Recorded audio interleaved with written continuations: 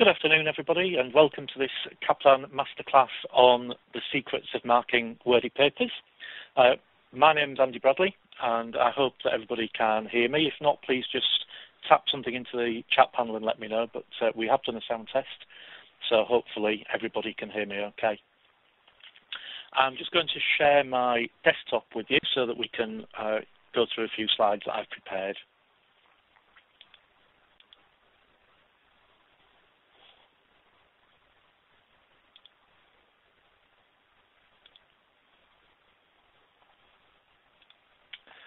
Okay, can everybody now see my desktop, my slide deck that I've got going there? If not, can you just let me know through the chat panel?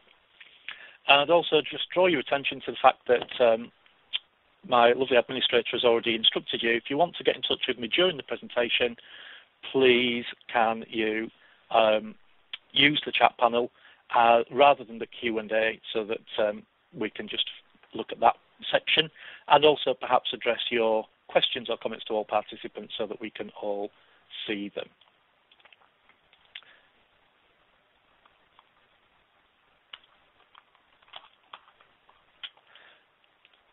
Okay, so as I say, my name's Andy Bradley. I've got the, uh, the pleasure of looking out over a rather uh, dull and grey Leeds city centre today as I um, present to you. I hope that some of you are calling in from, from sunnier climes. Um, the object of this masterclass is to just give you some insights into how uh, wordy papers, as we call them, uh, are marked, uh, and also to give you some very practical hints and tips that you can think about bringing into your written answers to maximise your chance of scoring in a wordy question uh, and also therefore improving your overall mark on a paper. Uh, these comments obviously apply to those papers that we generically think of as wordy papers, so maybe um, audit or, or, strategy or something like that, but also they do apply equally to any discursive question that you might get in, in any paper. And obviously, whether you're uh, studying ACCA, or whatever you're studying, many of the papers do have wordy questions in there. So these things do apply uh, equally to those.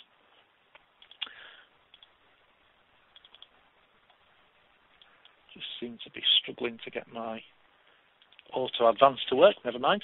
Uh, just a little bit about me then. Um, I am a tutor at Kaplan Financial.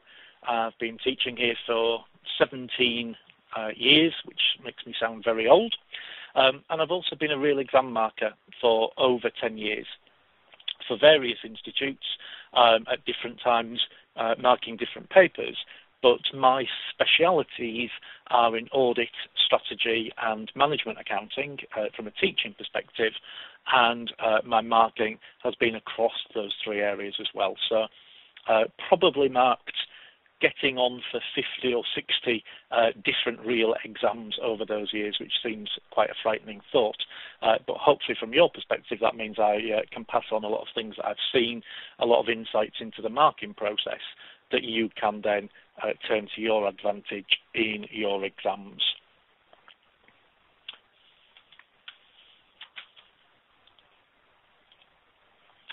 So what do I want to cover in this in this session? Uh, in terms of the timing, I know it's advertised as a, an hour-long session. I doubt very much that we're going to um, take that long to get through the uh, the material, but uh, you know it'll take as long as it takes. And you know if you ask me uh, lots of questions or want to know more, then you know we'll gladly go on as long as, as long as you want me to.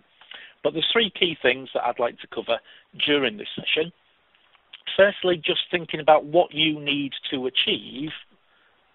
Uh, just on a bit farther, what you need to achieve when you are writing an answer to a more discursive question. So, what are markers looking for? How to get the marker on your side, that sort of thing. Then, although I don't want you to pick up on doing these things, I'm going to look at what constitutes a bad script because nobody ever thinks they've written a bad script. Uh, everybody thinks that their answers are adequate, and I'm just going to show you a few things that if you'd read them yourself, you might have thought sounded okay, uh, but I'm going to explain to you why they're not great from an exam perspective and why they might not score marks or they might not score enough marks to get that candidate to a pass. And then having looked at those generic areas, I'm going to give you some really practical hints and tips that you can apply going forward in your studies, not just when you're writing your real answers to an exam question, but in all those practice questions that you're going to do in your assessments and your mock exams before you actually sit a real exam. And that would probably be my first hint and tip, actually, before we move on. That once you've picked up on the things I'm going to suggest that you do, don't just think to yourself, oh, yeah, when I get into the exam room, I will do those things.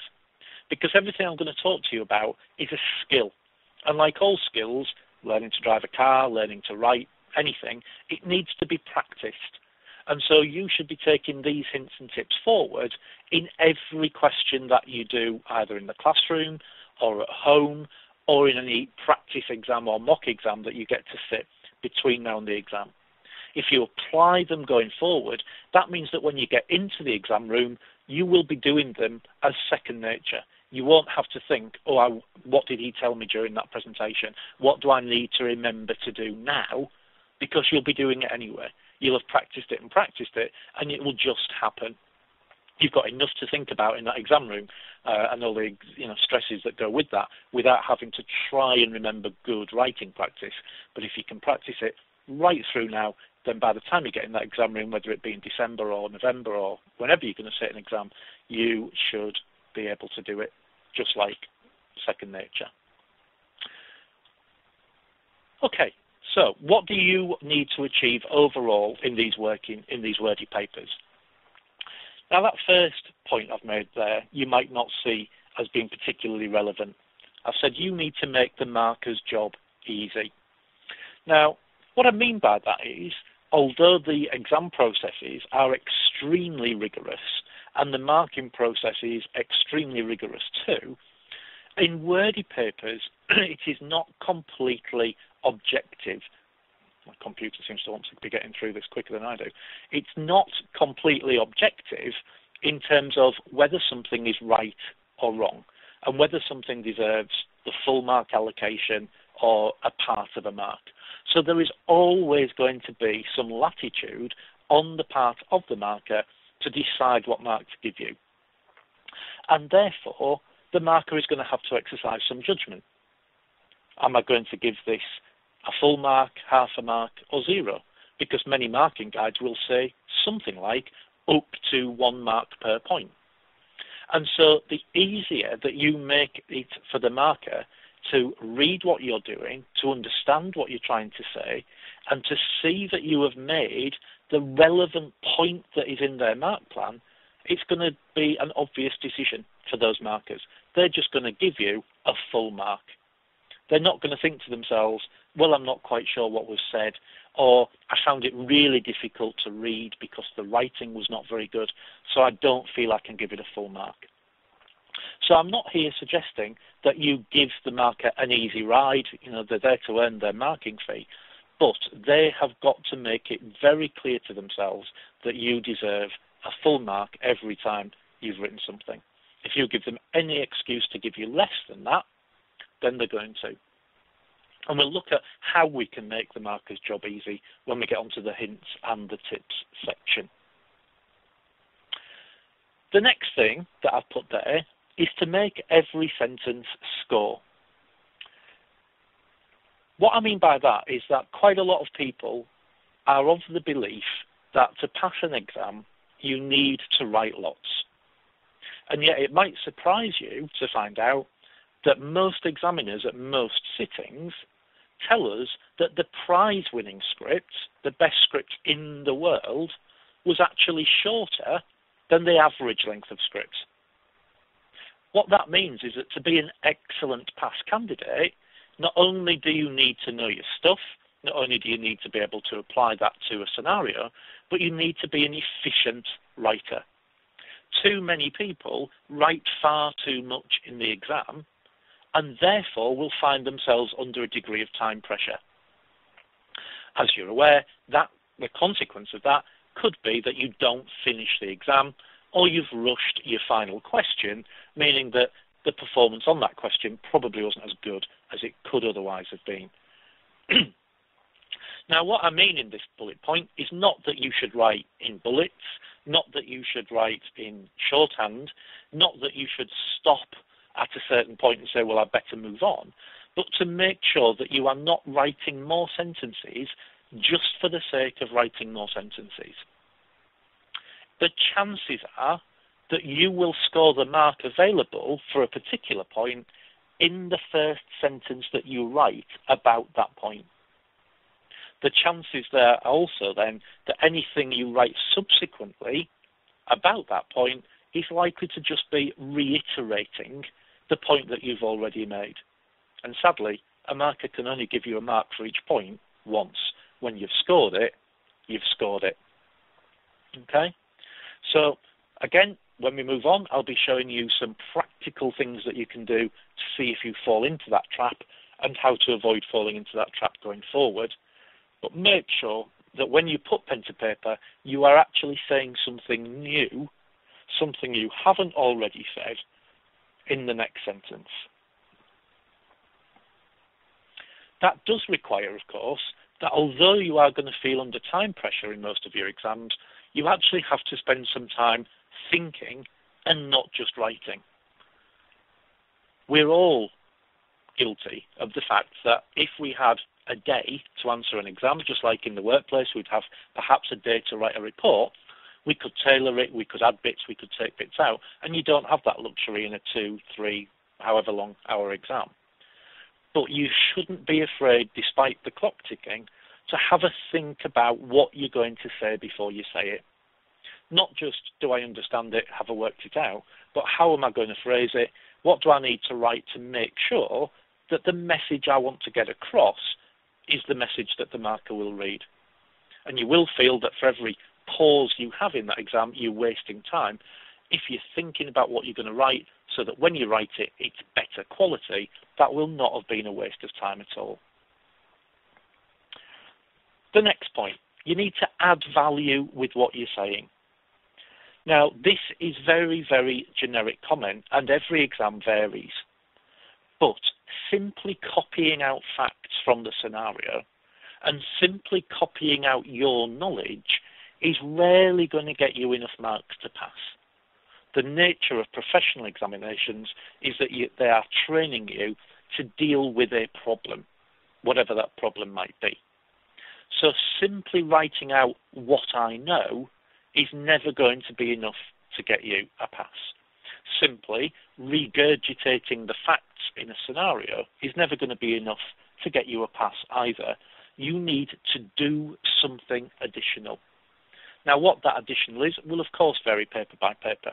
It could be doing some analysis. It could be recommending a course of action in a strategy paper. It could be determining an audit plan in an audit question. But you must be able to show that at the end of your answer, the reader knows something or is better placed to do something than they were before they'd read your answer.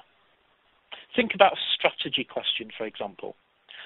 I've marked a lot of strategy questions over my time where weaker candidates will simply paraphrase the, uh, the scenario that they've been given. Well, think about the reality of that if this was in the workplace. A client would have come to you and said, I've got a business problem. Let me tell you what my problem is, and then I'd like you to help me solve it. That's essentially what a strategy question is doing in the exam. If, for that client, you just wrote them a report which told them back what their problem was, but in no way helped them to solve it, I don't think they'd be very happy to pay your bill, do you? So we must be adding some value. You must be doing something the client couldn't do for themselves. Because if they could do it for themselves, they wouldn't have come to you. They would have done it for themselves. So whether that be analysis, whether it be pairing pieces of information together to create a more cohesive story, whether it be giving some instruction or making a recommendation, you must show that you've done some of that. And then the last thing on this particular slide, application, application, application. If you're attending a tuition course somewhere, you are probably sick of hearing your tutors using that word at you, but that's with a, a, a very good reason. That's because if you read the examiner's comments in any exam at any sitting, somewhere you will find the examiners saying that a lot of the answers that they read, the ones which were not pass answers, could have been the answer to a different question. They were very generic answers.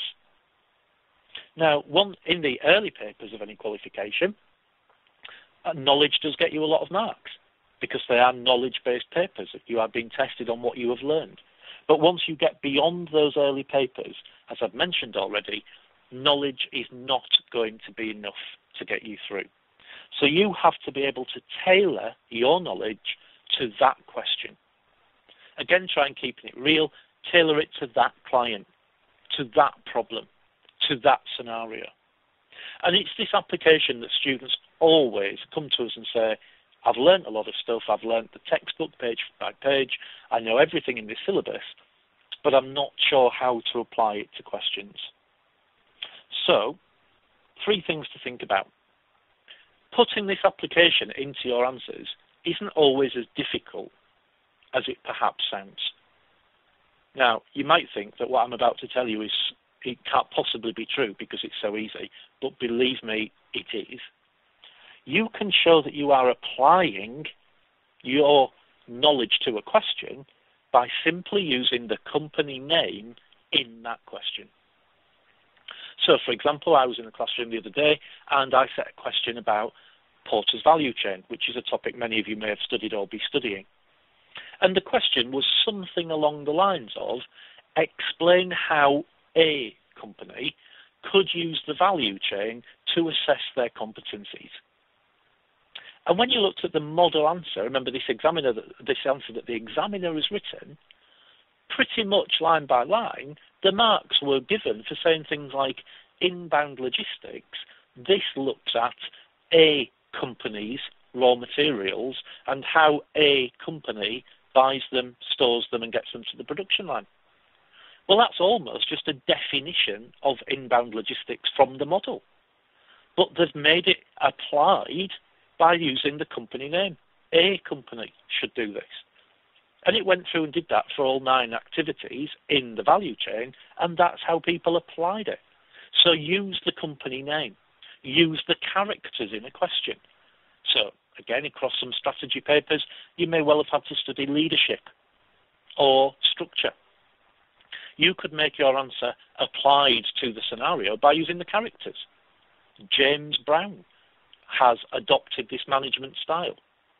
The manager of the marketing department seems to be following this sort of structure, rather than just writing out what you've learned from a textbook.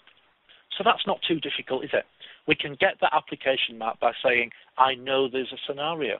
I have read it and I have understood it. Another way that we can do it, the second way for application, which is why I've written application three times, is refer to facts in the scenario. If on your read through of the question it's led you to think about something you want to say in your answer, then refer to that point in your answer. So, going back to my previous example, if you've decided that James Brown is adopting an authoritarian management style, because you've read in the scenario about the way he has treated an employee, you could put in your answer, James Brown appears to be adopting an authoritarian management style as evidenced by the conversation he had with this other employee. So that shows the marker that you've read the scenario. You haven't just gone to the requirement and said, oh, it's about management styles, so I'm going to write out everything I've ever learned about management styles. And you have got the reader to understand what you're writing in the context of that company, in the context of that scenario. So, although I've told you back up in my first bullet point, don't copy out chunks of the question, bringing in salient, relevant facts from the scenario to support your argument is an excellent way of getting those application marks. And then the final way to get application in is to solve that company's problems. Nobody in a company is ever going to come to you as a strategy consultant, for example, and say, Tell me about Porter's generic strategies. They're not interested. They're not academics. So if you're using Porter's generic strategies in a question, it must be to help that company understand whether it is a cost leader or a differentiator, or whether it has become stuck in the middle. So just writing out a generic list of why would you want to be a cost leader, why would you want to be a differentiator, is not going to help that client at all. You need to look into the scenario and say, well, what what are you currently doing? Why isn't what you're doing currently working? I am going to make a suggestion for you. I'm not going to tell you what Michael Porter generically told everybody in a theory. I'm going to use that theory to guide you to make a decision to help improve the performance of your organization. So hopefully you can see the purpose of application three times. Three reasonably easy ways of getting application into questions. Just to remind you of them again, use the company name or the character names where you can. Refer to the facts of the scenario to support your argument. And make sure in any sort of problem solving or advice giving question, you are solving that company's problems. You're not just writing out some generic prescription that you've read in a theory. I'll tell you another very good example of that last one. If any of you uh, have studied or are studying papers that have the Boston Consulting Group matrix in it, so maybe ACCA P3, uh, CIMA, uh, E2, something like that, um, or even E3, we know that the Boston Consulting Group matrix gives generic answers to what you should do with a problem child, a generic answer with what you should do with a star. But what a weak answer would do in a question is where you've identified that this company has a problem child product, is to just write out that prescription from BCG and just say you've got a double or quits decision. Either invest or get out. Because that's not tailoring it to that company's issues. You're not looking at the position of that problem child in that company's portfolio. So you just need to make sure you're taking your knowledge and making it company specific. Has anybody got any questions so far? Because I see that the, the chat panel's gone a little bit quiet, which is fine if you're all happy. But uh, you know, please do type anything you like in there if you want me to give any further clarifications as we go through.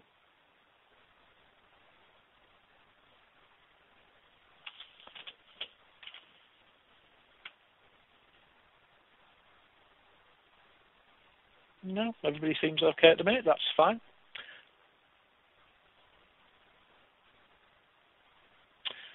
Hi, Carol. Um, you missed the first 10 minutes. Um, don't worry because we will be sending out a recording uh, to everybody. So you uh, you haven't missed it. You're just not getting to see it live, uh, but you will get the chance to, to see it afterwards. You'll, you'll get it emailed to you. Okay. So if we move on to the next slide, what constitutes a bad script? Now, of course, this comes with a huge health warning because these are the things that I don't want you to do in the exam. So please be careful how you remember these things. These are the things I don't want you to do. And I have touched on some of them already, but here I'm just trying to get a little bit more specific for you. So firstly, I've written there vague comments. What markers, hmm, my computer's very eager to finish today, isn't it? What the markers are not allowed to do is to assume what we think you meant to say. These exams have to be rigorous, and if we were allowed to assume what we thought you were trying to say, people would get marks for things they've not actually said. So sometimes we do read scripts and think, I bet they meant this, or I think they were on the right lines. But unless you've said what's in the mark plan, we can't give you the marks. And sometimes that is what happens people write a comment very, very vaguely. Not, I don't think, because they don't understand it, but because their writing skills are letting them down. And the way that I always talk about this to my students is for all wordy papers, if it was an oral exam, I think the pass rates would increase massively. Because if you said something in a vague way, the examiner or the marker that you were in the room with would have the chance to say, can you just expand on that? Can you just tell me a little bit more? or I'm not quite sure what you mean, can you say it a different way? But sadly, it's not an oral exam. You have this once and once only chance to write what you're thinking. And sometimes I think things go a little bit wrong between brain and hand. From what you're thinking to what you end up writing is not actually the same thing. So all comments have to be as specific as they can possibly be. Now, one um, way to think about this, and I apologise to anybody who's not studying auditing, because uh, this is a slight audit example, but when I'm teaching um, auditing, which I do quite a lot of, and we're talking about audit procedures, think about, you know, even if you're not studying auditing, an audit procedure, the word procedure means I'm telling somebody what they have got to do. I tell my students that they have to think about a young man called Little Johnny. Because Little Johnny, I tell them, has just joined their audit firm. In fact, today is the first day Little Johnny's been at work, and he's never ever studied accountancy or auditing before. So when they're writing out their audit procedures, I tell them they've got to imagine they are telling little Johnny what they want him to do. And so when they've written their audit procedures, I ask them to read them back to themselves and say, hand on heart, from what you've written, would little Johnny know what you want him to do? Or would he be confused? Because if you honestly think he would be confused, then you've not written that test, that procedure properly. You've not been specific enough. So some things that students in audit questions like to write would be things like, I would discuss it with the directors. Imagine telling that to a young lad who's just joined your audit firm on his very first day. Go and discuss receivables with the directors. How stressed out is that lad going to feel? You've not told him what you want him to discuss. You've not told him any questions you want the directors to be asked, and you've not told him why he's having that discussion. So how is he going to know how to start the conversation? All because you knew what you wanted to discuss with the directors, but you didn't write it. My least favourite word in auditing, I get very stressed when students write this word, is that I would vouch additions. I would vouch a transaction. Vouch is an awful word. Nobody can show me what the word vouch means. If I ask students to explain the word vouch, they do it by telling me another word, a different verb. Oh, I actually meant I'd look at the invoice, I'd add up the list. If that's what you actually mean, say it. You know, vouch hides ignorance. When we see students saying, oh, well, on additions I would vouch them, we don't give them a mark. Because what does vouching mean? I've no confidence that if I presented you with an invoice that you would know what to do with it. So you've got to be very, very, very specific in what you are saying. Think about what is your idea, what is your thought, what do you want to convey, and make sure that you convey it. Next point, people tend to rely on technical terms. So again, I'm going to give you an audit example here. The problem with relying on technical terms is that they often again hide ignorance. So those of you that are studying or have studied auditing, you will be aware of the financial statement assertions. And in many an audit exam, you get a knowledge question that says, identify and explain four, five, however many, financial statement assertions. So as many of you will know, one of those uh, assertions is called existence. I wish I'd got paid for every time I've had to mark a script where somebody's written existence means it exists. Now I'll just give you a second to absorb that. That was meant to be an explanation. Existence means it exists. I can almost hear some of you laughing as I say it. There is no way that that was ever going to get the explanation mark. It would have got the identification mark for having learned that one of the assertions is existence, but it means what exists. Where does it exist? When does it exist? What, what do you mean? So a good answer to that would be existence means the asset or liability exists in the company at the balance sheet date. You've got to write more, but it guarantees that you're going to get that, that particular mark. So sometimes, as I say, people just write out technical terms, which is fine if the question is state or um, list or something like that, but not in an explain requirement. You've got to use your own words to make sure that somebody understands it.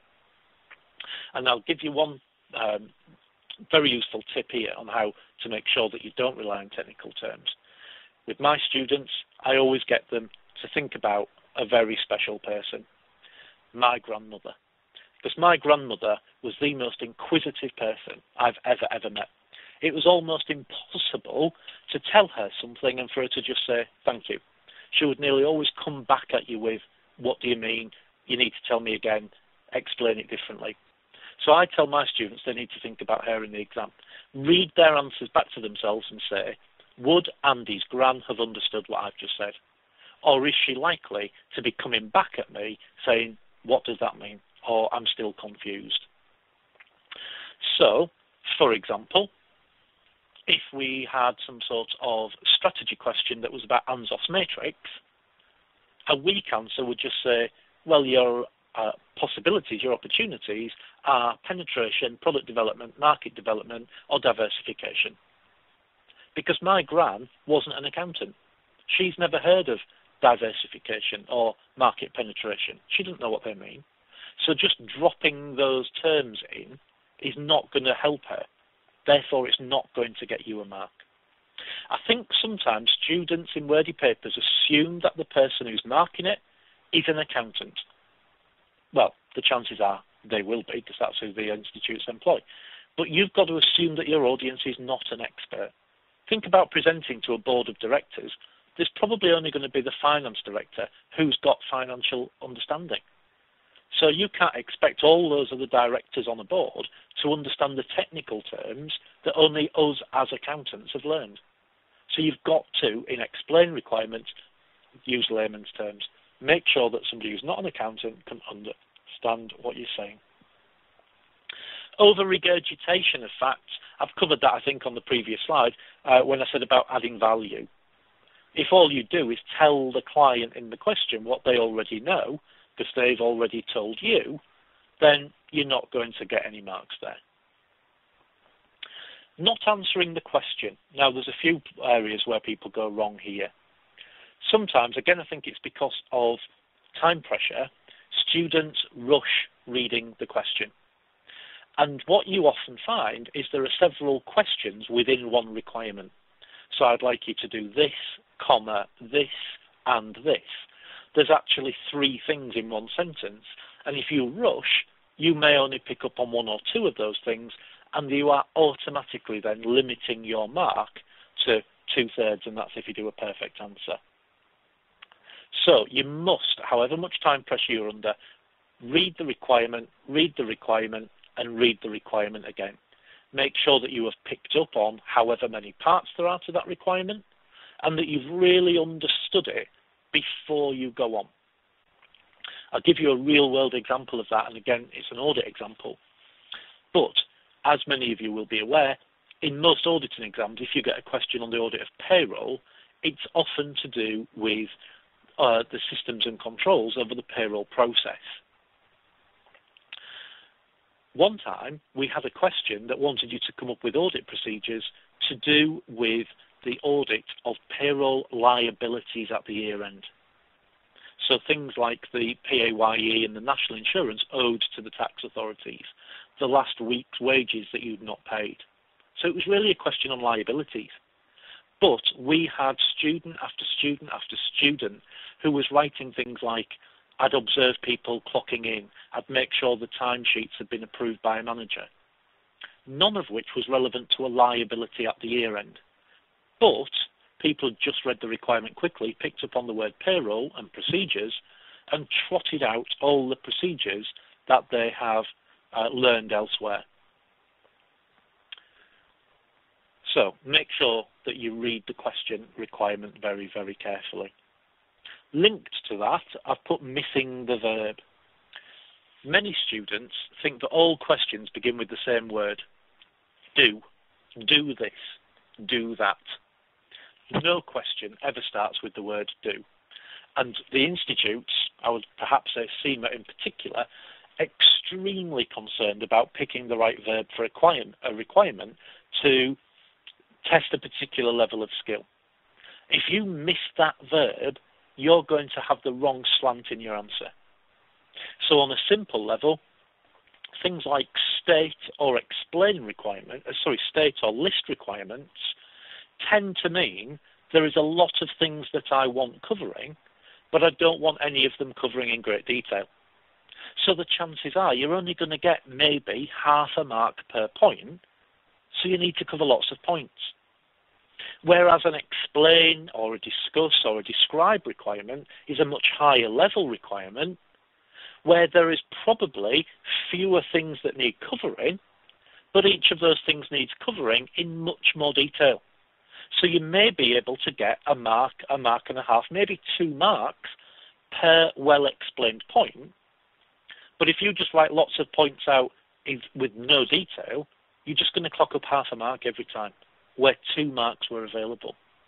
So you must make sure that you've read and assimilated the verb that's being used. It should dictate how many points you're going to try and cover in your answer and the level of detail that you need to try and cover for each point.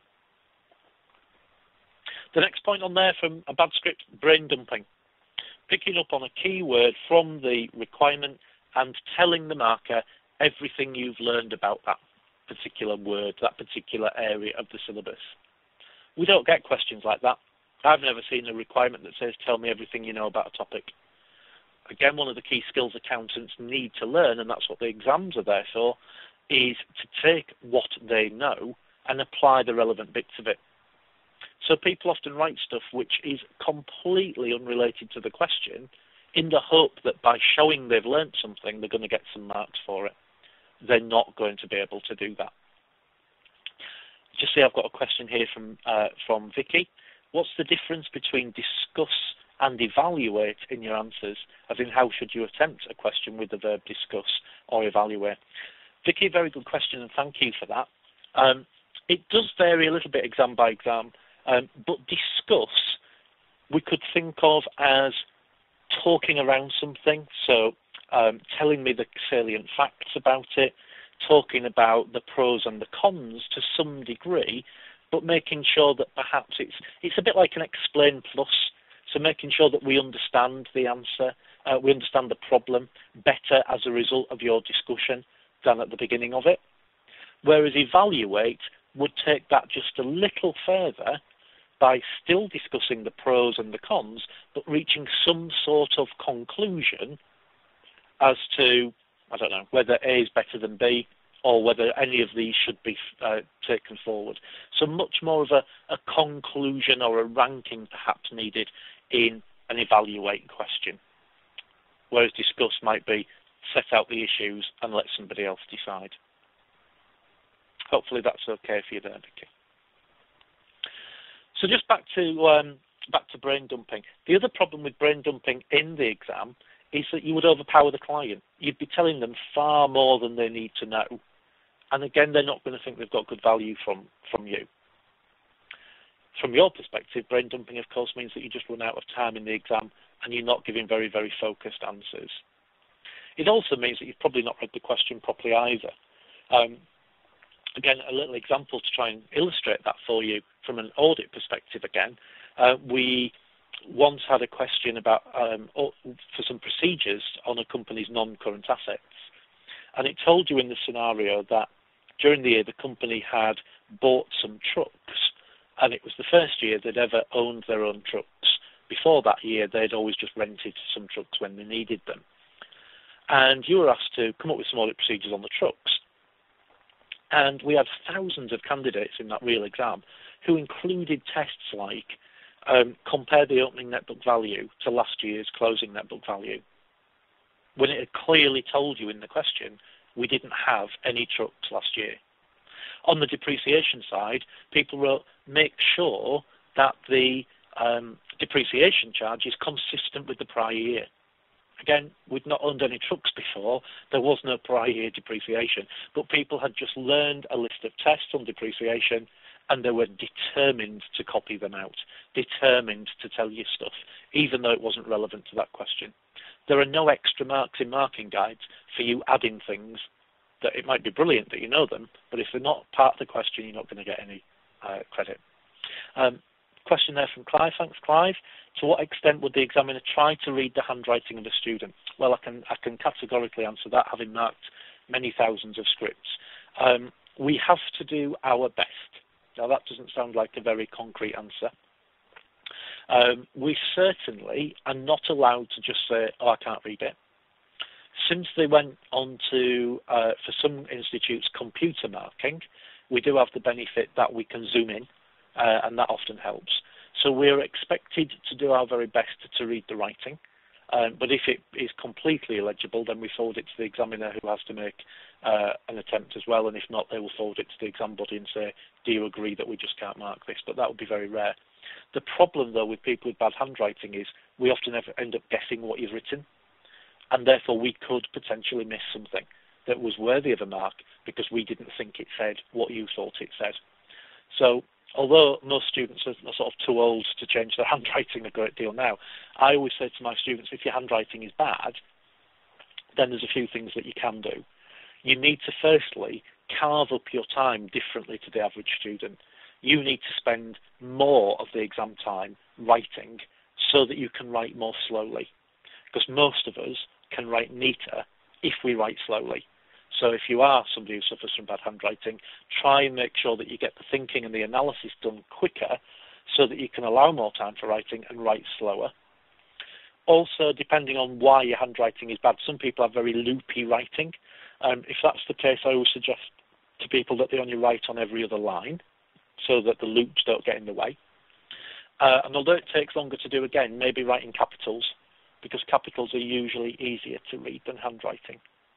So there's a few things that can be done, but please take some solace from the fact that we do have to try and read it.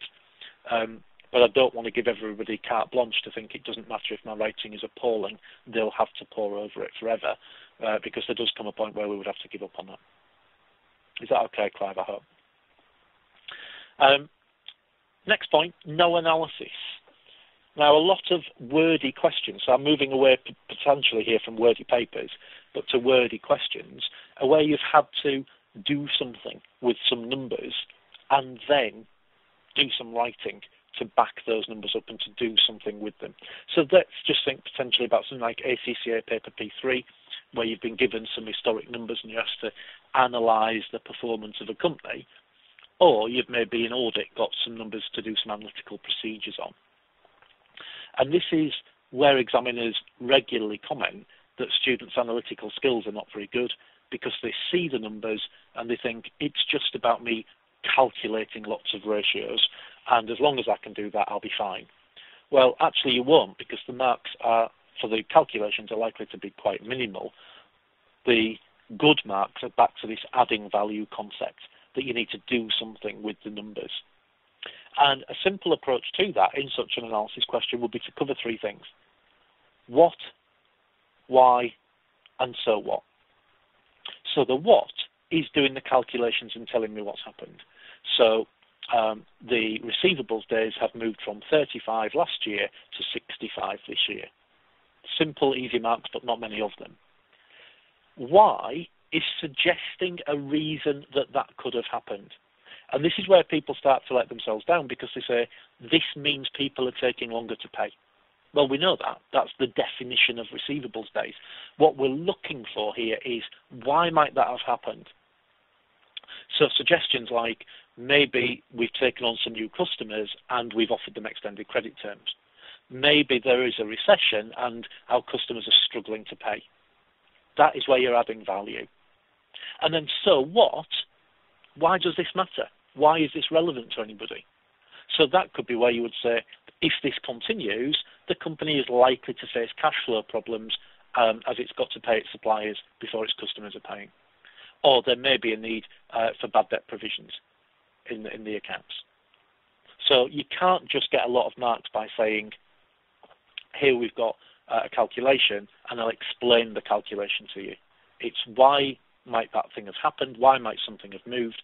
And then what are we going to do about it? Why is it important? Shanola, hopefully I pronounced your name uh, okay there. What's the difference between a discuss and a compare and contrast question? Um, not a lot in some cases, um, but it might be only one thing that you have to discuss. So discuss the merits of building a factory in China.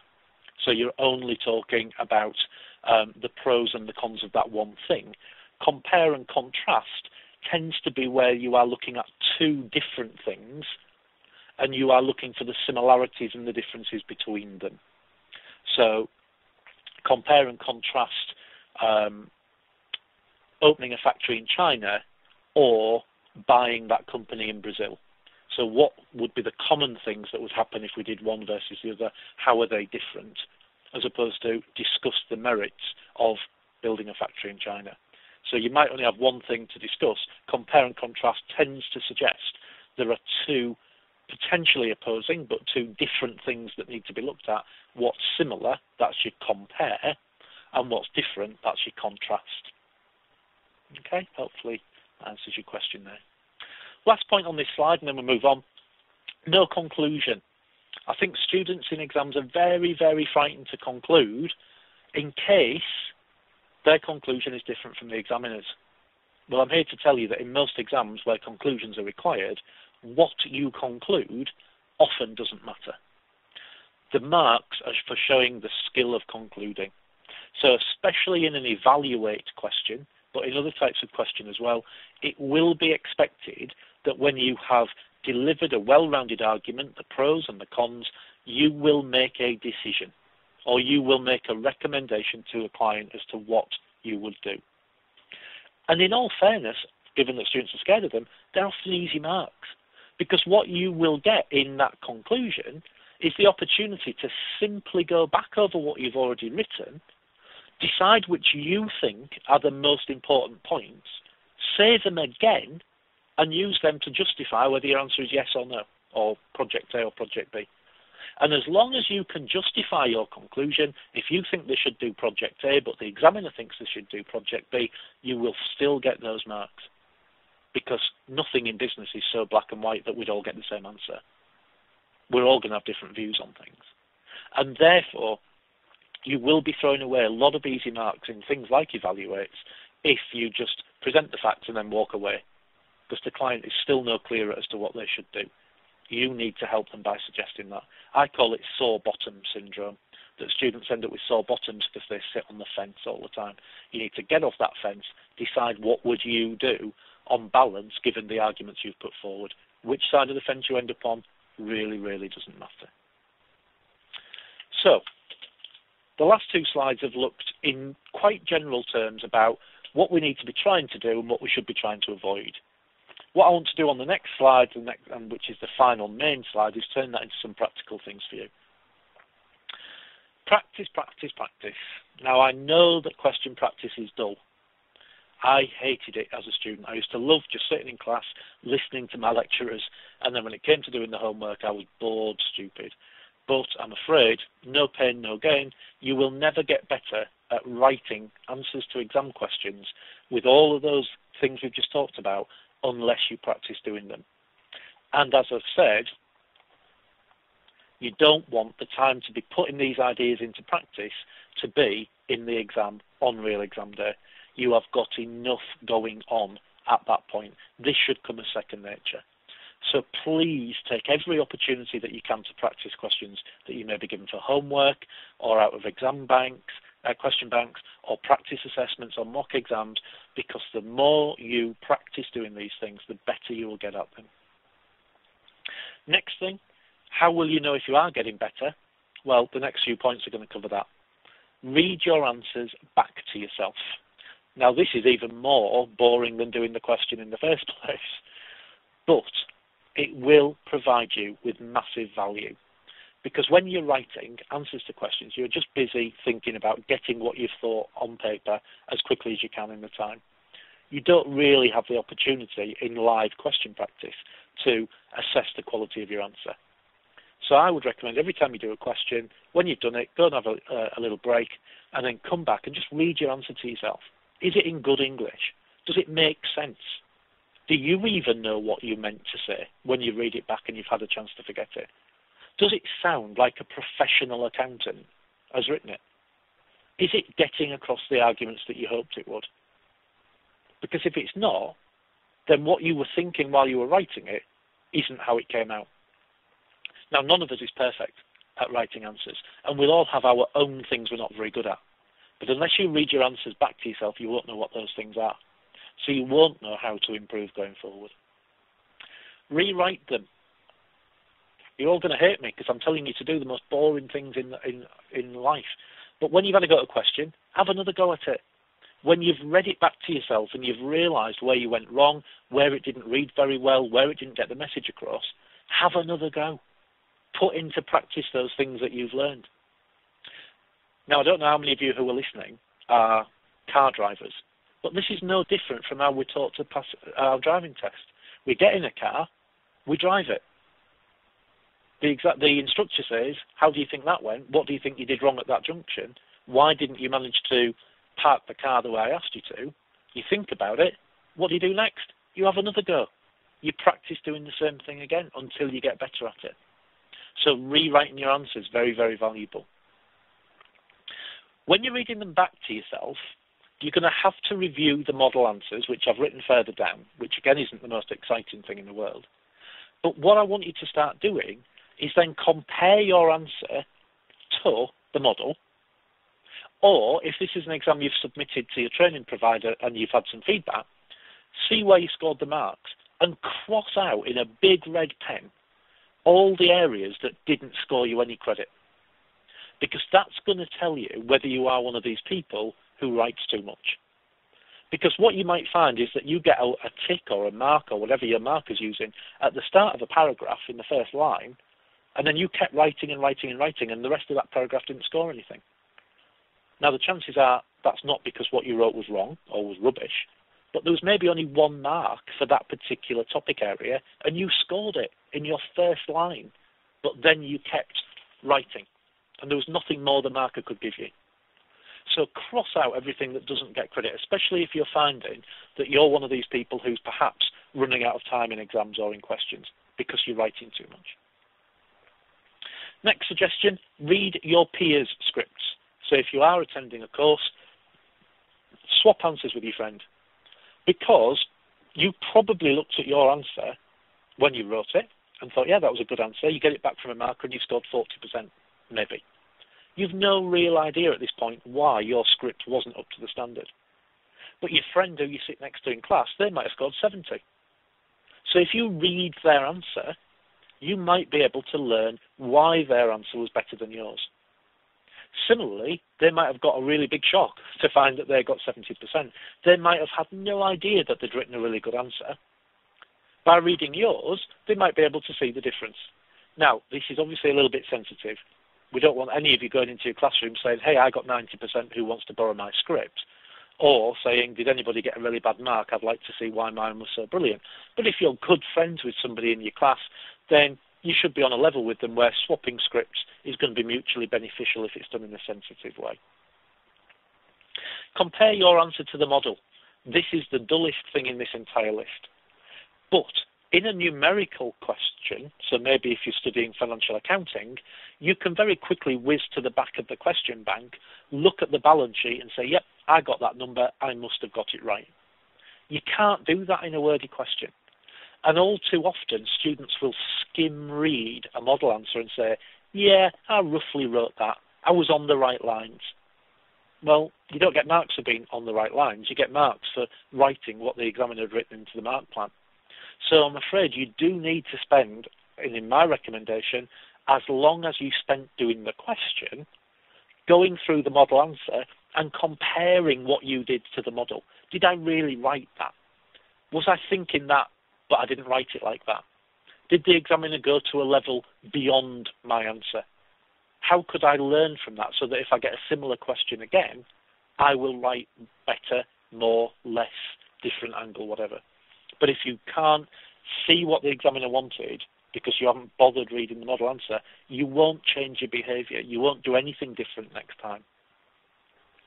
And then, just because I think they're really great people, think about my gran. So that, if you remember, was the explain stuff.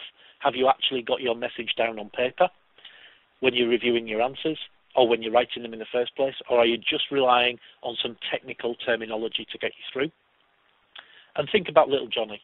Remember, your audience isn't meant to be other accountants. You can't assume they know what you mean. You've got to spell things out. You've got to convey your message clearly. You've got to make sure they understand the relevance of every sentence that you have written. All too often, if I'm going through a script with a student, I'll say, well, what does that mean? And they'll laugh at me and say, well, you know what that means. You, you taught us it. Uh, yeah, but I'm not the audience. I'm not the person reading your answer. You've got to be aware that they're not accountants. Question from Clive there, is it possible to get full marks on a five mark question with only writing two paragraphs? Um, I can't get too paper specific, Clive, but the obvious answer to that, I'm afraid, has to be yes, because you could write two very, very, very, very, very, very long paragraphs that contain within them everything that's needed to get a five mark question right. Um, if you're telling me that your paragraphs are only a couple of lines long, then two two line paragraphs, I should imagine, is very unlikely to ever score five marks. Uh, but it depends how much you shove into a paragraph. Um, I, I tend to prefer to help students by thinking about sentences rather than paragraphs. Um, it's very rare that a sentence could ever get more than one mark. So if you can think about it like that, you won't go too far wrong if you think that a five mark written question is likely to need five sentences at least that say five different things, not the same message written five different ways.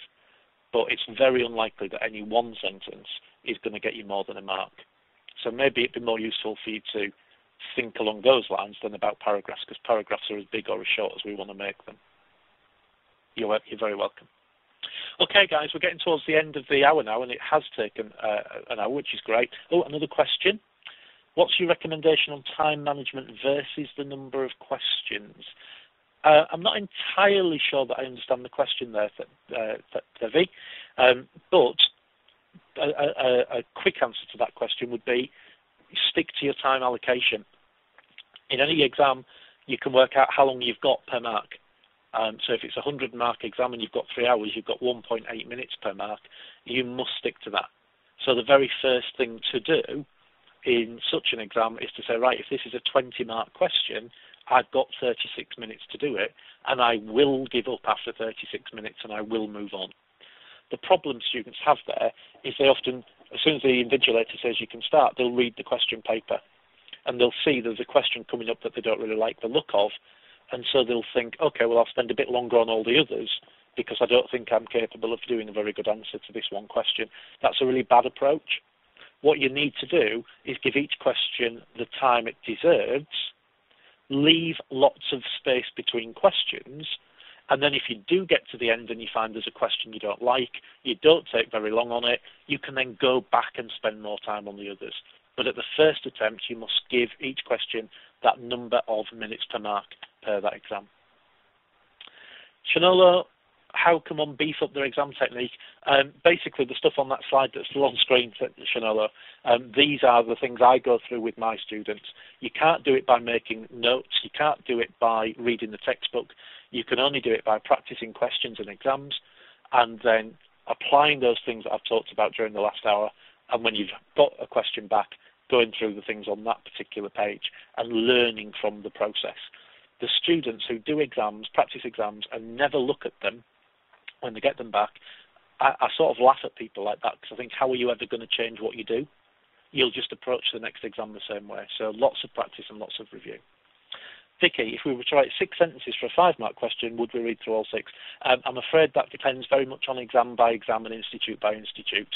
Um, some exam boards would say that um, if they have told you to um, make five points, they'll only mark the first five.